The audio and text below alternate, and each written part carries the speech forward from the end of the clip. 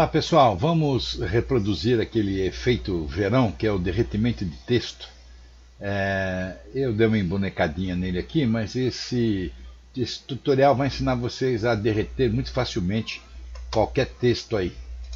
Então vamos lá, vamos começar sem demora. Vou criar uma nova composição, a minha composição é uma HDTV 1080 2999 de frame rate, né? e 10 segundos é o suficiente para esse tutorial. Para esse tutorial, a gente vai usar um plugin que eu mandei para vocês num vídeo anterior. Então, quem não tiver, eu vou deixar o link aí embaixo na descrição do vídeo. Busca lá esse vídeo e baixem esse plugin, porque ele ajuda demais nessas coisas simples que é decompor um texto, tá ok? Então vamos escrever a nossa palavra aqui. Eu vou escrever verão na cor branca. Por que eu escolhi verão? Porque é uma palavra de apenas quatro letras, então você mais facilmente a gente pode ganhar tempo aqui no tutorial, mas pode ser qualquer palavra, tá pessoal? Vamos escalar ela aqui para deixar o efeito bem visível, né? Vou trazer um pouquinho para baixo e vamos criar um shape layer aqui. Vamos criar aqui um retângulo um pouquinho maior do que a letra e logicamente da mesma cor da letra que é o branco. Então, ok, criado o shape layer, nós vamos, nós vamos pegar esse shape layer e vamos arrastar ele para baixo da composição aqui, olha. Aumentar um pouquinho e vamos aqui com a setinha do nosso teclado ajustar ela corretamente bem embaixo da nossa palavra aqui, né? Estamos no verão, shape layer, vamos abaixar um pouquinho. Aí. Acertamos aqui bem, bem no começo dessa palavra aqui. Podemos trazer esse shape layer para baixo da composição agora. E vamos já aproveitar que nós estamos aqui, vamos mudar um enter em cima dele e vamos escrever mate. Esse vai ser o nosso mate que vai ocultar essa palavra verão. Agora vou decompor ela usando aquele nosso plugin. Windows, eu vou procurar aqui onde está o meu. Ele se instala aqui sempre. Se vocês instalarem agora, vocês vão aqui no Windows e vão achar ele aqui, ó, Decompose Texto clicado em cima da palavra, é só mandar decompor. Decompôs, ele já decompôs letra por letra aqui. Tá? Eu vou fechar todas elas para que a gente possa ver uma por uma aqui. Ó. E vocês vão ver uma peculiaridade aqui, que ela decompôs a palavra E, V, E, R, tal, tal. E verão sobrou inteira. Nós vamos descartá-lo. Vai clicar em cima e vai dar um delete. Nós ficamos com letra por letra. Só que esse nosso plugin, ou preset na realidade, não faz é colocar o arco point na posição. Então vamos colocar uma por uma no meio da composição. Né? Vamos marcar o V, vamos pegar o nosso pinbout aqui, né? Pin, bem, do arco point, pinbout, e vamos levar aqui mais ou menos no meio das palavras. Vai no E, arrasta para o meio, R, e vai fazendo assim uma por uma. Marcou, e isso vai ser importante para que a gente possa girar. O que, que nós vamos fazer agora? Vamos levar o ponteiro aqui, vou reduzir a minha composição, pegar o meu Selection Tool novamente aqui, vamos levar para um segundo onde a gente quer que comece esse efeito de derretimento aqui. Vamos marcar todos os layers aqui, eu clico no O clico no V com Shift pressionado, ele marca todos. Eu abro, dou um P no meu teclado para abrir a posição. Cliquei, criei um keyframe na posição em que ele está para todos. Vamos levar esse efeito de derretimento até os 4 segundos. Se vocês quiserem, até os 5, até os 6, esse vai ser o tempo em que a palavra vai sumir aqui. Isso pode ser ajustado depois do efeito pronto também. Então vamos pegar aqui, já que estão todas selecionadas, vamos pegar nossa palavra aqui, olha, pressionar o Shift do nosso teclado novamente e arrastar para baixo até que ela se esconda atrás desse shape layer que vai ser o nosso mate. Tá? Vamos voltar no primeiro keyframe. Para isso vocês podem usar esse ajustador aqui de keyframe, que ele é muito preciso, olha, leva para o último, volta para o primeiro. Como estão todos marcados, a gente agora nós vamos apertar o Shift R para que ele fique com os dois abertos, né? Fica com a, a posição e agora ele abriu a rotação, isso em função de eu ter pressionado o Shift antes. Então vamos marcar um de rotação para todos também. Vamos levar até os 4 segundos, ou vai no de posição aqui, para ser mais preciso, e clica aqui que ele vai para o último keyframe. Tá? Vamos para o nosso último layer, que é o mate. Nesse momento, vamos clicar no olhinho dele aqui e tirar a visibilidade dele. E agora vamos desmarcar os layers todos, que nós vamos trabalhar em, é, cada um deles individualmente. Então vamos na palavra O, rotação. Nós já tínhamos aqui um keyframe marcado em zero e vamos rotacionar ele para dentro aqui O. Tá? Eu rotacionei 75 graus, isso é um pouco aleatório, tá ok? Agora vamos na letra T, vamos, aliás, na letra A, vamos rotacionar. Vou na próxima letra e assim por diante aí. Nós vamos rotacionando as nossas letras aí. E a gente já tem a letra descendo com essa rotação aqui. Lembrando que o mais importante é que a primeira e a última letra rotacione numa numa inversamente, né? O resto vocês podem aí dar a rotação que vocês quiserem. Vamos aproveitar que estão todos marcados, eu vou levar um pouquinho para cima aqui, vou clicar o botão esquerdo no meu mouse, vou selecionar todos os keyframes, apertar F9 no meu teclado para suavizar, deixando todos eles na função Easy Easy. E vou abrir aqui o editor do gráfico de velocidade. Se o seu não aparecer assim, basta você abrir essa segunda opção aqui no Choose Graph e marcar Edit Speed Graph. Bom, agora nós vamos ter que marcar todos esses últimos keyframes. Para isso eu clico o botão esquerdo no meu mouse, seguro, seleciono e solto. E vou dar uma arrastadinha nessa aresta aqui, para que ele faça essa curvinha aqui. Então você tem um derretimento um pouco mais suave aqui. Muito bem, podemos fechar o speedgraph agora. Podemos fechar todos os leis que estão marcados. E agora a gente vai... Não vamos acender não esse layer aqui, ó, porque ele vai ser o mate. Então vamos deixar ele... Vamos só arrastar um pouquinho aqui, olha, para que a gente possa saber o que está acontecendo. Vamos na palavra V e vamos aplicar um efeito aqui muito simples, que é o set mate. Set mate. Ele vai estar aqui, vamos arrastar para cima da palavra V. Nada aconteceu, porque nós temos que indicar para ele aqui qual é o mate que vai fazer esse set, né? esse corte. Então vamos indicar aqui, olha, take mat from layer, vamos clicar aqui e indicar para ele que é o mat. Perceba que ele está fazendo ao contrário, né? é, eu quero que a letra desapareça ele está fazendo com que ela apareça no set. Basta você vir aqui e clicar em inverte o mate. Pronto, conseguimos o nosso efeito aqui. Para a gente não ficar fazendo isso letra por letra, vamos usar aquela opção muito conhecida do Word, né? Vamos clicar aqui no nosso efeito set mate, Ctrl C para copiar. Depois nós vamos aqui da palavra O até a E, a V não precisa porque já tem o efeito e vamos dar o Ctrl V de colar o efeito.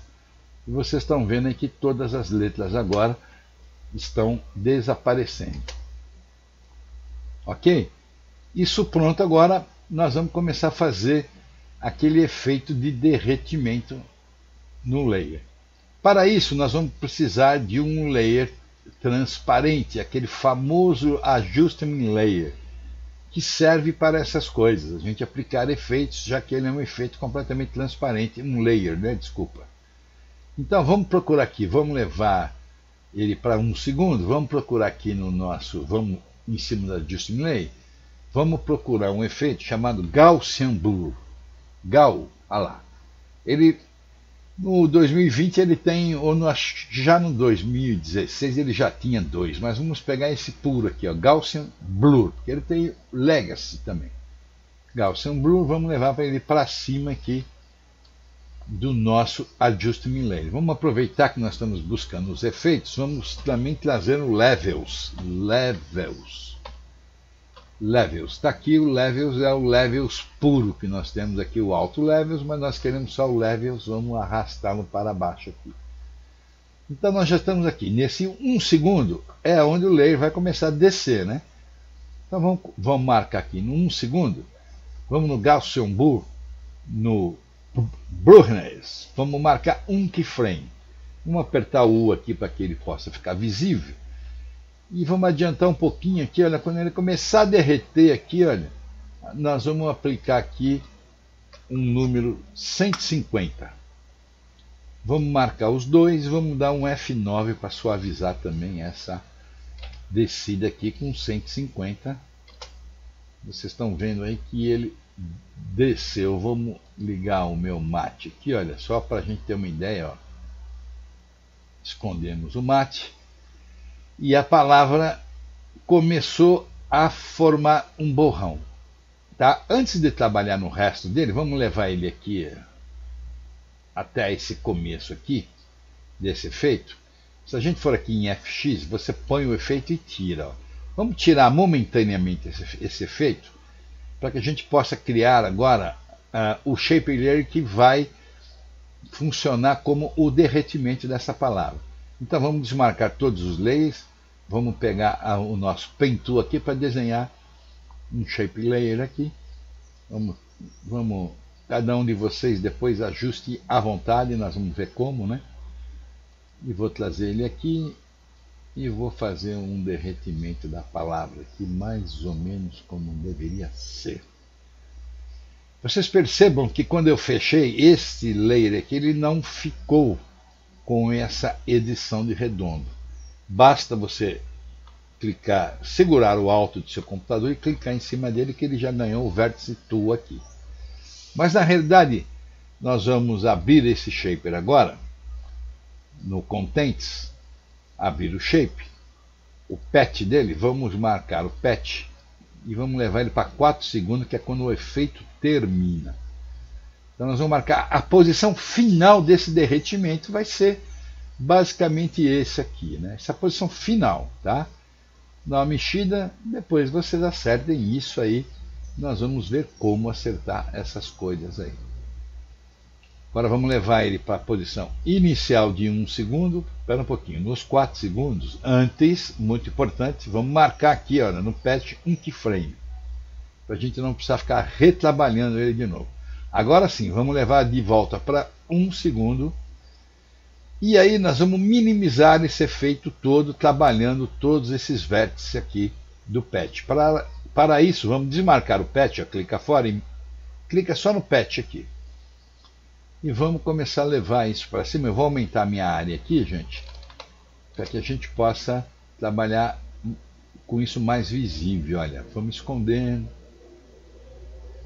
Nós temos que deixar ele quase imperceptível no início aqui de um segundo, quando o efeito não aconteceu. Está vendo aqui? Olha. Vamos ajustando. Paciência aí. Vamos abaixando, ajustando os vértices. Por isso que nós já marcamos o último keyframe, para a gente não ter que refazer todo esse rebordô aqui no final. Ok? Vamos arrastar e vamos deixar ele quase invisível. A gente não vai conseguir uma invisibilidade total, mas não vai fazer tanta diferença assim também. Se não lograrmos êxito.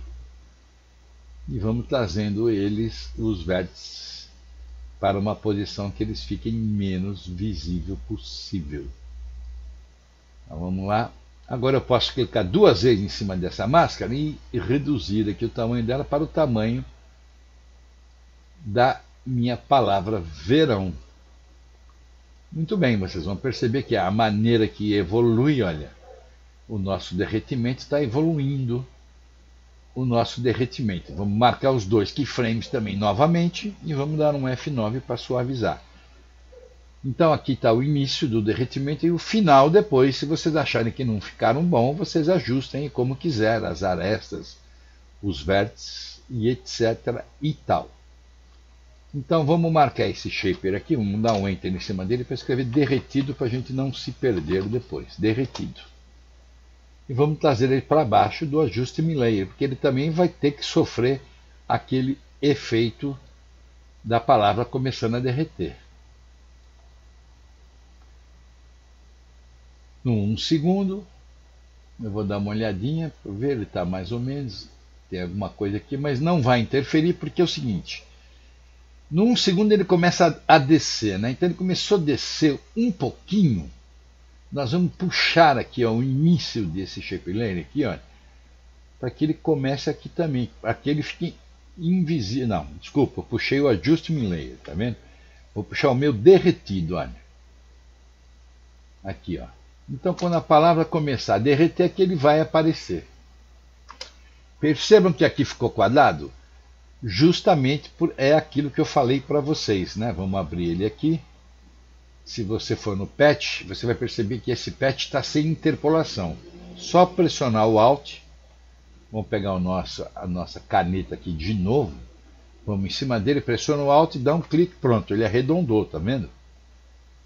Ele arredondou fora do que eu queria. Eu vou arrastar ele aqui até o final aqui. ou melhor ainda, eu vou dar um Ctrl Z, eu vou deletar ele, né? Espera aí, o que, que você está me pedindo aí? Eu vou pegar esse shape dele, vou deletar, vou levar até o 4 segundos para mim poder fazer aquilo lá, ok? Pronto, agora não preciso mais ficar mexendo. Bom, vocês percebem que aqui, olha, ela não cresceu do lado aqui, olha. Então eu vou aumentar, vou levar ela para os 4 segundos de novo e vou ajeitar esse aqui, olha, esses dois aqui que vão fazer ele crescer para os lados. Então vamos lá, vamos dar uma olhadinha. Melhorou. Qualquer coisa vocês vão ajustando esse layer aí depois do efeito pronto. Então levamos para um segundo novamente, né? E agora nós vamos voltar aqui em cima no nosso Adjustment Layer e onde a gente tinha apagado o FX aqui do Gaussian Blur, nós vamos acender ele aqui. Então o Gaussian Blur vai entrar agora e vocês vão ver que todo tudo que está abaixo desse layer foi afetado por esse Gaussian Blur aí. Para a gente deixar isso com um efeito realmente de derretido, vamos puxar um pouquinho aqui. E agora vamos no Levels. No Levels, nós vamos trabalhar aqui, olha.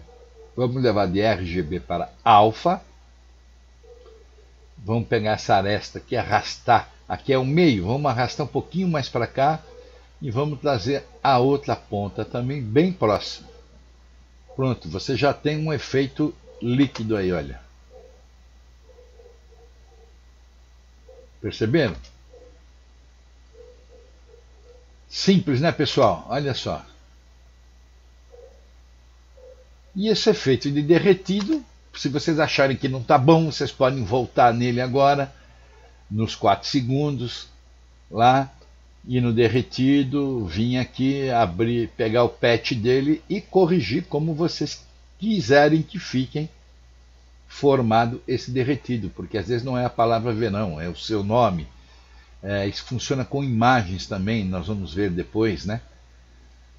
Bom, tudo que nós colocarmos nesta composição que ficar abaixo desse ajuste Miller vai sofrer influência desses efeitos, é lógico, né? Então, eu fiz uma brincadeirinha no início aí, você viu, colocando um solzinho lá.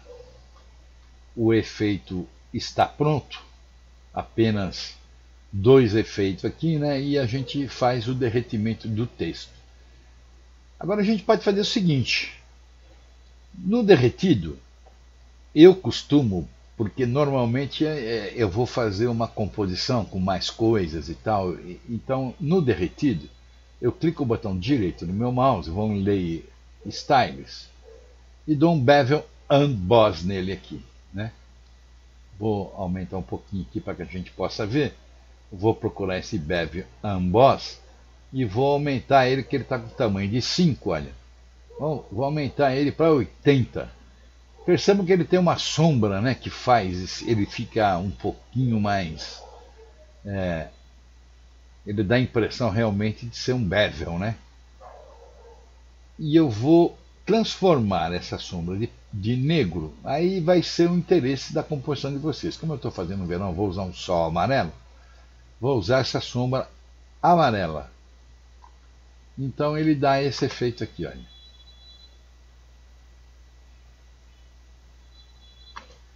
Muito bem. Agora vou dar um exemplo para vocês. O tutorial é este, basicamente. Lembrando que eu vou deixar aí na descrição é, é, o vídeo onde vocês vão poder baixar esse Decompose Test aí. Mas percebam que coisa legal, gente. A gente pode fazer também o inverso. Eu vou deixar uma imagenzinha aí para vocês também baixarem se quiserem, que é uma imagem de uma ilha que eu usei aí para vocês terem uma ideia. Deixa eu procurar aqui nas minhas imagens.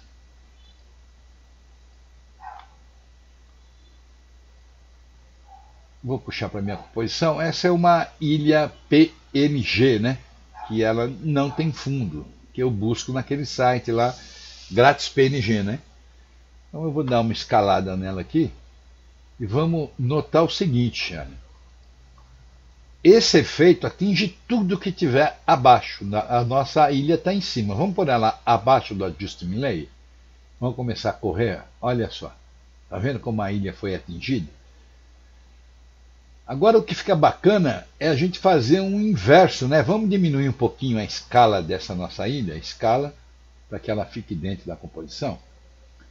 Vamos levar ela para cá? Vamos fazer o seguinte: quando o texto estiver derretendo, nós vamos fazer essa ilha nascer. Então, mais ou menos aqui, olha, ele está derretendo, né? Nós vamos dar um P de posição na ilha. Vamos marcar a posição dela aqui. E nos 4 segundos o efeito do derretimento terminou. Eu vou arrastar a ilha para cima aqui. Ó. E agora é uma questão de ajuste e opacidade, porque você percebam que a cor dela também influenciou no texto. Então o que nós vamos fazer? O texto começou a derreter aqui, a ilha começou a subir aqui, né? Então nós vamos pegar a nossa ilha, o nosso layer todinho, e vamos arrastar para esse ponto de interesse aqui, ó. Tá? E vamos trabalhar também a, a escala dessa ilha aqui. Vamos marcar um keyframe de escala nela. E vamos reduzir. Ó. Vou deixar bem pequenininha. A gente pode até levar ela mais para cima aqui, olha, no começo. Vamos dar um P de posição aqui para ver onde está a posição dela. Ela pode até vir mais para cima aqui, olha, para não influenciar o nosso layer, tá vendo? Ele vai derretendo aqui, ela vai começar a sair. Só que nós vamos aumentar a escala dela agora, né? Ela começou a sair. E agora nós vamos pegar nesse último keyframe dela aqui. Já que ela tem um keyframe aqui de posição, vamos aproveitar e vamos dar o S de escala. Nós já temos uma escala inicial. Então vamos marcar um keyframe sem interpolação aqui. Quer dizer, ela vai estar aqui com o mesmo tamanho que ela está no começo começou a sair, nós vamos aumentar ela aqui, quando chegar aqui em cima, para o tamanho que nos interessa. Né? Aí, vai. Tá muito bom. Vamos também aqui, olha, para essa cor não ficar interferindo, vamos dar um T de opacidade em qualquer lugar aí e vamos tirar a opacidade dela, vamos deixar com zero. Então quando ela começar a sair, a gente aumenta a gente leva para o 100%, olha. Porque aí ela pode ganhar cor, já que não tinha no layer. Vamos fechar tudo isso para a gente ver o que está acontecendo, para vocês terem ideia. Verão. Verão derreteu. A minha ilha está saindo de lá de dentro do verão. Ela pode até sair antes, aí nós podemos regular, tá vendo? Demorou muito para sair? Ó, onde está o nosso layer da ilha aqui, a gente pode até puxar ele para frente. Ó. Aí. Pronto. Vamos lá. Isso é tudo questão de vocês trabalharem aí o, o time. Tá vendo que é simples. Tá, mas ela ainda continua embaçada. Ótimo, agora nós vamos trabalhar aqui no Adjustment Layer. O Gaussian Blur nós vamos abrir, né? Vocês lembrem que vamos digitar U e vamos clicar aqui para ele criar um outro keyframe sem interpolação nenhuma. Ok? Então está tudo embaçado. Nós vamos arrastar um pouquinho e vamos levar esse Brulins aqui para zero. Onde está zero que fica mais fácil do que arrastar.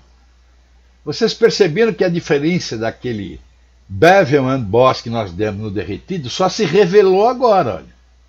Se nós não tivéssemos dado aquele Bevel and Boss, esse layer aqui estaria completamente branco. Então, quando vocês forem associar, aquele Bevel and Boss é importante, olha. Ok? Aí vocês trabalham em tempo, time, aí vocês vão ter mais tempo do que a gente tem num tutorial aí, né? Eu digo sempre que tomar o tempo de vocês é uma coisa terrível, mas tutorial ele tem que ser um pouco preciso. Bom, vamos criar um solzinho rápido ali no cantinho aqui agora, em cima do ajuste layer para que ele não sofra. Ou se vocês não quiserem mais interferência desse efeito em coisa alguma, seleciona tudo, clico direito e precompõe ele, olha. Precompose, vamos colocar aqui cena 1. a gente sabe que toda cena está dentro da cena 1 e continua o efeito de derretimento aí. Esse reverso é um plus que eu coloquei aqui. Agora sim, vamos trabalhar à vontade. Vamos criar um. Para fazer esse solzinho aqui, eu vou dar só um exemplozinho aí, vocês cada um aí use da imaginação eu vou usar esse Star Tool aqui. Vou clicar aqui, vou criar uma estrela, vou no Polystar, Polystar Patch e vou aumentar aqui para 10 pontos essa estrela. Vou pegar uma corzinha aqui aproximada da ilha, já que ela é um shaper, eu vou no fio, pegar aqui o conta-gotas, vou pegar esse amarelinho aqui, olha. Vou dar um OK, OK. Vou levar o meu ponteiro aqui para o começo para mim poder dar uma rotação nele. Vou em cima, de, vou fechar tudo de novo, vou dar um R da rotação, marquei um keyframe. Vou levar lá para os 10 segundos finais e vou marcar 180. E ele está girando aí o solzinho aí. Para ele não ficar sozinho, vamos de deixar o ponteiro lá no 10 segundos, vamos dar um Ctrl D. Vamos abrir a rotação dele, e onde está 180, nós vamos dar menos 180 vai ficar um girando ao inverso do outro e dá um efeitozinho legal aí. Ó. Opa, aí. Isso é uma simples composição, tá, pessoal? Eu estou fazendo isso para vocês verem aonde vocês podem ocupar esse tipo de efeito aí. Agora, já que nós estamos aqui, vamos criar mais um shape layer, pra, aliás, um layer aqui, new, um sólido qualquer cor, porque nós vamos, vamos arrastar para trás, vamos usar o ramp. Ramp, que é o gradiente ramp na realidade. Vamos arrastar para cima do leia amarelo, substituindo a cor preta por um azul. Azul da cor do céu. Ok, pronto. Está pronto. Se vocês quiserem esmerar isso ainda mais, eu, eu vou ensinar um truque para vocês aqui, facílimo, que a gente usa muito com máscara. Né? Vamos criar um outro sólido aqui, agora amarelo mesmo. Layer, new, sólido, amarelo mesmo. Ok, vou deixar por cima. E agora vou criar uma máscara nele aqui, olha. Vou pegar o meu Pen Tool, deixar clicado em cima do layer para a gente poder criar uma máscara mais ou menos como se fosse a irradiação desse sol em cima da palavra verão aqui no começo da nossa composição. Vamos clicar na máscara, dar o M para a gente poder ver ela, clicar nela, dar um F de fader para ela abrir o fader, e vamos dar um fader aqui um pouco exagerado aqui. Vamos colocar 160. Isso. Agora vamos fazer o seguinte, aproveitando que a máscara está aberta, ela está em o nosso ponteiro em zero, vamos pegar esses vértices aqui vamos deixar ela só próximo ao Sol. Aí. Depois a gente vai trabalhar a opacidade dela. Quando ela chegar aqui, que ela vai começar a derreter, é sinal que ele está recebendo influência do nosso Sol. Aí vocês arrastem. Ah, antes disso, uma coisa muito importante. Antes de arrastar qualquer coisa, vamos abrir a nossa máscara aqui, né? E o Mask Patch para a gente poder marcar um keyframe. Agora sim, nós vamos pegar aqui, olha. Vamos arrastar esse keyframe um pouquinho antes de um segundo. Quando ele começar a sofrer influência do Sol, aí nós vamos mostrar que o Sol está atingindo a nossa palavra aqui. Vamos dar, vamos marcar os dois, dar um F9.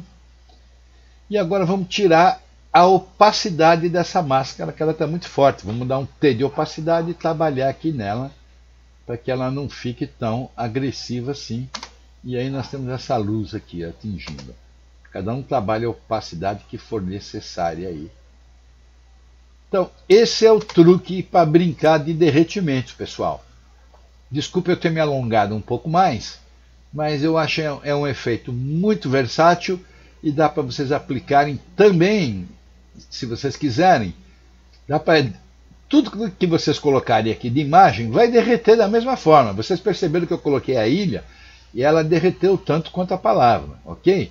Então esse tutorial ele, ele vai dar assim, brinquem à vontade aí, tá? Eu já derreti sorvete com esse tutorial, já já fiz um monte de brincadeira legal aí para aberturas de motion graphics aí. Pessoal, muito obrigado pela audiência de vocês. Eu fico muito feliz com os comentários. Podem comentar à vontade. Se inscrevam no meu canalzinho que é pequenininho, deixa um like para mim e até o próximo tutorial, pessoal. Não esqueçam de baixar lá esse plugin para vocês poderem decompor o texto. Lá está na descrição. E essa ilhazinha também eu vou deixar lá para vocês se quiserem baixar. Um abração para vocês.